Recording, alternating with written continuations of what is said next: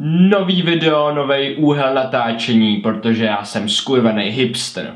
Ještě před začátkem rozboru vám chci představit jednu aplikaci, uh, kterou mě požádali, abych ji představil a zaplatili mi. Zaplatili třeba i Datlovi, ale ten by to asi nikdy neřekl na kameru. Ok, celá ta aplikace se jmenuje More Than Friends, je teda jenom na Android, ten není jako ještě na iOS, ale, ale brzo prej bude, tak do pár měsíců. A celá ta apka spočívá v tom, že je trošku jako Tinder, akorát jenom pro přátele. Registrujete se na ní pomocí, pomocí Facebooku teda a můžete lajkovat své kamarády, nebo teda spíš své kamarádky a můžete vidět, jestli vás oni lajkli zpátky. Takže pokud někteří moji fanoušci jsou introverti se sociální fobií, tak tohle je opravdu pro vás. Jako je dost velká pravděpodobnost, že vaši kamarádi na té aplikaci teda ještě nejsou, ale když jim o tom řeknete, tak tam budou a budete moc lajkovat. Jako nedostanete na to zaplaceno teda, ale budete moc lajkovat.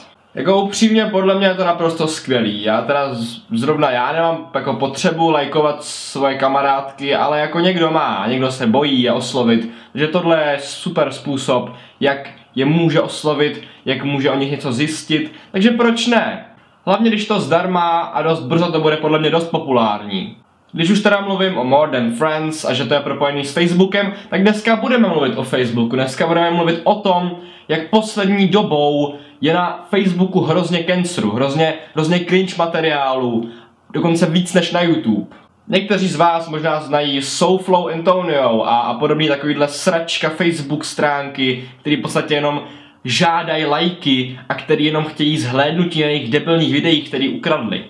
A věřte tomu nebo ne, ale já jsem našel, našel jsem českou verzi těchto stránek a je to opravdu krása, je, to nádherný, jako je to úplně typický příklad. Jmenuje se Ondra Vlček, vede jí, držte se, Ondra Vlček a opravdu musím konstatovat, že mi zní blivno. Víte, YouTube teďka zavedl jednu jednu dost revoluční novinku, že už i videa na Facebooku jdou spoplatnit, teda snad jenom u některých lidí a můžete z nich vydělávat. Nevím, jak to funguje u lajků, ale asi to u nich funguje taky tak ne, takovým podobným principu, protože stránky, které žebrají o lajky, těch je spousta. A je to třeba i tady Ondřej Vlček. Dobře, dobře. A, abych jenom nemluvil, tak si ukážeme první, první věc, která na mě vyskočila, když jsem otevřel tu stránku. Zbývají přesně tři měsíce a máme tady Vánoce. Děkuji ti, Ondro. Dě, děkuju, děkuju. Já tady nemám, nemám tady kalendář na notebooku, že jo, já nemám vůbec nějaký moderní notebook, který by měl funkční kalendář, který by mi ukázal, že ještě zbývají tři měsíce do Vánoc. Takže děkuji ti, děkuji ti, že tvoje stránka mi tak pomohla a ukázala mi, že zbývají jen tři měsíce do Vánoc. A nepomohl jen mě, pomohl, pomohl skoro sedmi tisícům lidí. To je prostě úžasný. Sedm tisíc lidí, kteří teď vědí, že za tři měsíce budou Vánoce. Vždyť to je spasitel, to je spasitel dnešní doby. Kdo potřebuje Dalajlámu, kurva? Tenhle ten by měl mít přednášky v OSN. Dej svoji fotku do komentáře, já ti ji ohodnotím, buď to nádherná, nebo krásná, nebo ujdeš, nebo nic moc, nebo škaredá. To je jako vážně. To je, to je jako vážně. To, to, to jako vážně? Jako já bych tam mohl taky hodit svoji fotku, i když já jsem nádherný, já nepotřebuji, aby mi Ondra Vlček říkal, že jsem nádherný. Jak tak projíždím ty komenty, tak buď to jsou všechny holky nádherný, krásný nebo ujdou. Takže podle všeho neexistují už škaredý holky na této planetě, to je dobře. A víte, kdo to může? A to může Ondra Vlček. Díky Ondru Vlčkovi už nejsou hnusní holky na této planetě.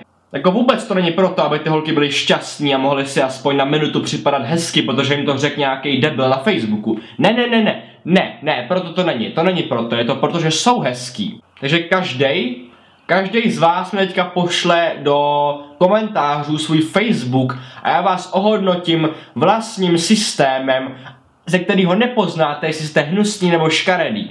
Protože hezký fanoušky já nemám a to vím. Víte, že od minulého pátku uběhl přesně týden. Takže týden říkáš. Dobře, dobře, dobře. Dneska je teda neděle. Takže neděle, sobota, pátek, čtvrtek, středa, úterý, pondělí. Hej, ty máš pravdu, ty vole, kámo. Před týdnem byl pátek, oh shit, to je nějaký next level magic tohleto. Kdo tě učil magii, Chris Angel, jsem si dost jistý, že jo.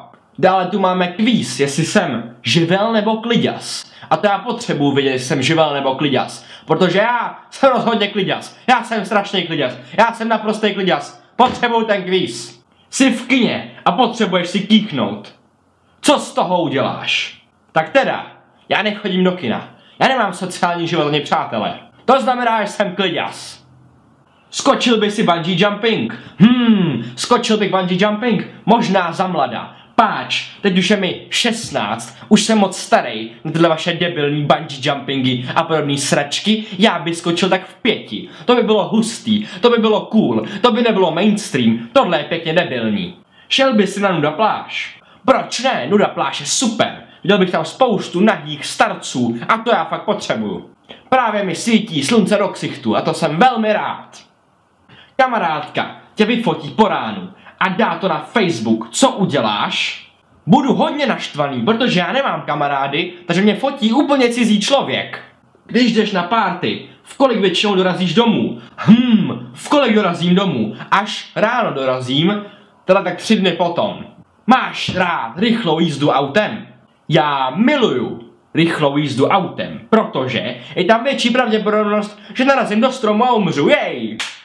Výsledek kvízu. Jsi prostě živel.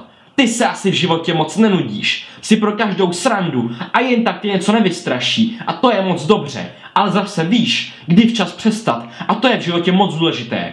Rozhodně se ale tví přátelé s tebou nenudí. Jen tak dále. Děkuji ti, děkuji ti kvíze. Podle tebe jsem 70% živel a 30% kliděs, takže já nejsem kliděs. Já nejsem kliděs. Já prej nejsem kliděs. Podle tohle skurveného kvízu já nejsem kliděs. Já jsem naprostý kliděs. Jsem naprosto klidnej, abyste věděli. A jestli zjistím, že z tohohle kvízu nemá Ondra Vlček ani skurvenou korunu, tak budu ještě víc nasranej. Každý komentář mi zvedne náladu. Dobře, tak v tom případě Jsi kokot, Ondřeji. Bum, to doufám ti zvedne náladu hodně, protože Ondro, jsi opravdu skvělý Facebooker, je to slovo? Dobře, teď je to slovo. Jsi skvělý Facebooker a jsem na tebe velmi hrdý. Označ do komentářů osobu, se kterou se smějete všemu. Uuu, tak to jo. Škoda, že nemám v přátelích satana. Dneska je Světový den míru. Všem vám posílám srdíčko. A co mě? Co, co mě, Ondro? Mě si srdíčko neposlal. Koho to jebe, že nejsem na tvý debilní stránce? Já chci taky srdíčko. Chci být, chci být milován aspoň Ondrou Vlčkem, nejlepším Facebookerem v historii.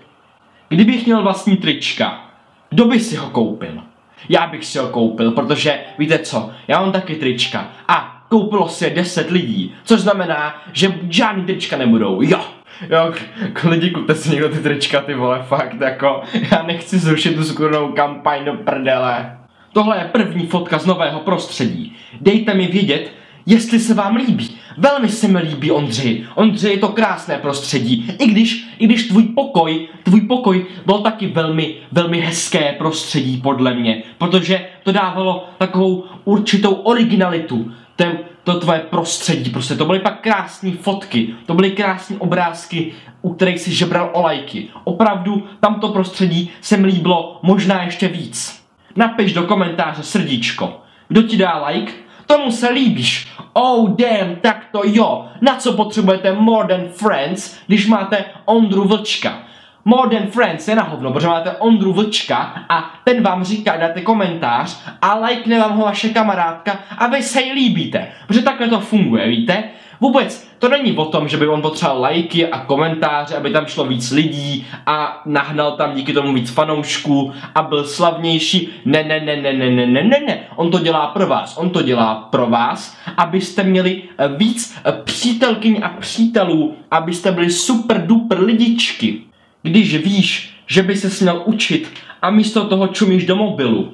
O můj bože, Ondřeji, ty mi rozumíš. Myslel jsem, že jsem jediný člověk na světě, který místo učení kouká do mobilu. Ale ne, ty, ty jsi mi ukázal, že nejsem sám na tomto světě. Děkuji ti, Ondřej. Jsme úplně stejní. Budeme nejlepší kamarádi, Ondřej. Pojď. Jo.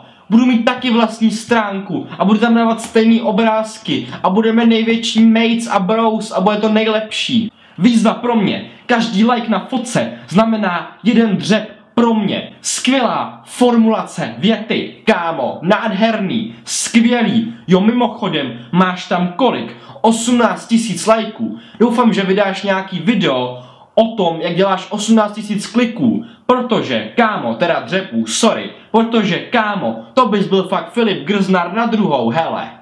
A znovu, to není proto, aby potřeboval lajky a měl tam víc lidí a byl slavnější. To je proto, že chce mít sexy tělíčko k vodě. A proto potřebuje ty lajky a ty dřepy. On ty dřepy by sám neudělal, taky to nefunguje. Vy nemůžete dřepovat bez lajků. Jestli někdo z vás někdy dřepoval bez lajků, posílám na vás poldy. Teďka na vás posílám poldy, protože dřepování bez lajků je kurva nezákonný. A to je pravda. Takže teďka udělal, nebo spíš kdy, 19. září udělal 18 tisíc dřepů a tomu musím nechat, Ondro. Jsi fakt frajer. A když už mluvíme o videích a dřepování, tak si pustíme nějaký jeho video, ne?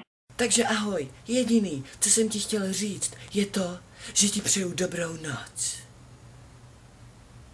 Autíčka. Autička? Ty chceš říct, že jsem autista? Chceš mě nazvat autistou, Ondro? Vážně? Vážně, Ondro? Ondro, měl jsem ty rád. Měl jsem rád tebe a tvých 18 tisíc dřepů. Měl jsem rád fakt, že koukáš do mobilu místo učení, protože my dva jsme byli jediný, kdo to dělá. Ale teďka říct mi, že jsem autista? Vážně, Ondro? Tak rychle se změnil. Stačil jeden rozbor a už mě hejtuješ. A to nesnášíš hejtry a reakční videa. A teďka mě hejtuješ, Ondro. To tak hrozně bolí, Ondro. Já se snažím dělat videa a bavit lidi, stejně jako ty, Ondro, ale říkáš mi, že jsem autíčka. Ne.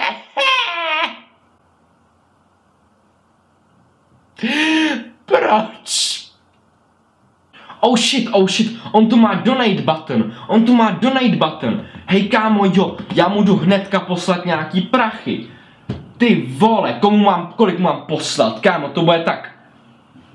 Korunu ti pošlu, Ondro, protože ty si to zasloužíš. Jsi fakt, jsi fakt dobrý, Ondro, jsi dobrý Facebooker. Myslím, že kdybys šel na YouTube, tak, tak, tak podle mě budeš nejlepší YouTuber prostě ever. Jako, zdejší YouTubeři taky rádi jako žádají o lajky, takže ty bys byl fakt super. Uf, OK, do, dobrý, konec, konec tohohle divného rozboru, fakt tohle, tohle, ty vole, už jsem zase jednou přehnal.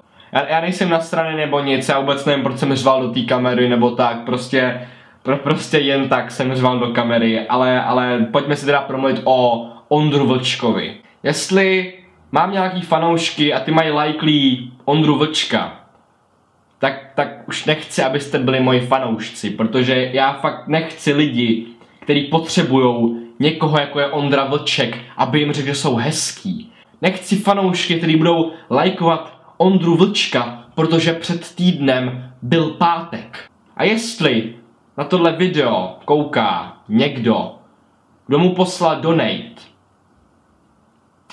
tak se běž zahrabat, kámo.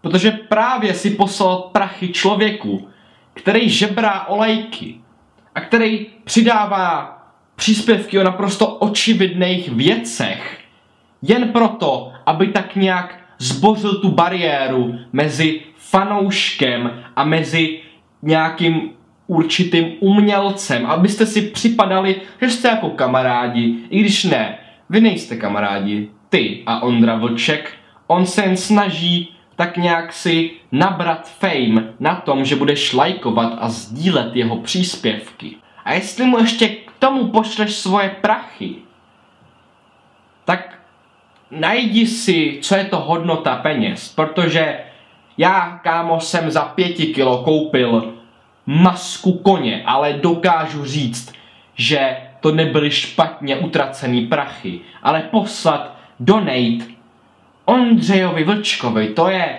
to už je jiný level.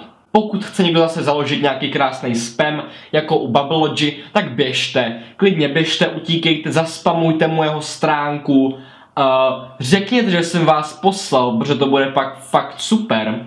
A tohle byl jeden z prvních rozborů tohohle Facebook Canceru, těchto těch idiotských stránek, které nemají žádný smysl nebo využití a já budu pátrat po dalších a rozeberu nějaký další v budoucnu. Už jsem našel super video, který, o kterém nejspíš bude další rozbor, takže, takže jo, to je asi všechno. Já doufám, že se vám líbil tenhle mega divný rozbor na mega divnou stránku jednoho mega divného člověka a uvidíme se příště u nějakého dalšího videa. A pokud to nevíte, tak za tři měsíce jsou Vánoce. Teďka dole v popisku mám účet, tak bych byl rád, kdybyste mi poslali prachy za to, že jsem vám řekl, že za tři měsíce budou Vánoce. Fakt vám děkuju. Yeah,